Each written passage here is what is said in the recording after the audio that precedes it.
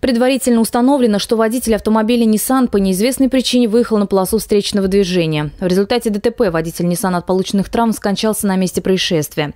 Водитель Рено с переломами грудной клетки, ребер и ноги был госпитализирован в лечебное учреждение ГАЯ. По факту ДТП сотрудниками полиции проводится проверка.